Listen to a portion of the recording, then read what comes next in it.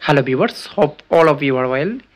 In this video i will show you how to remove back cover and upgrade ssd this laptop you will turn and lay down and press to lock.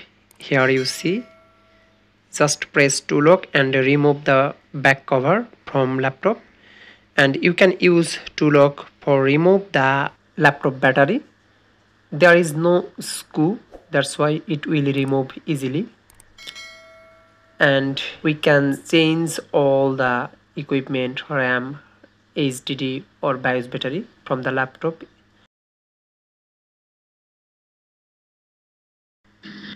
HDD RAM BIOS battery.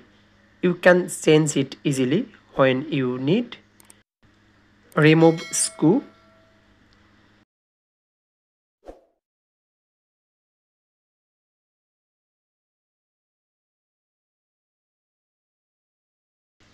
Here you see the hard disk adjacent with case.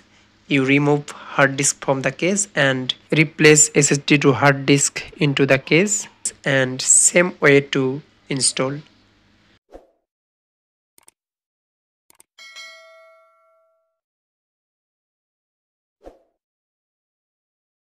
If you want to change RAM or BIOS battery from the laptop, you can easily change it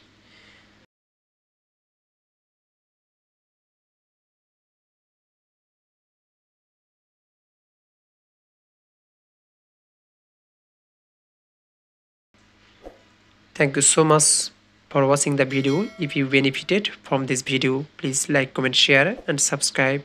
Stay tuned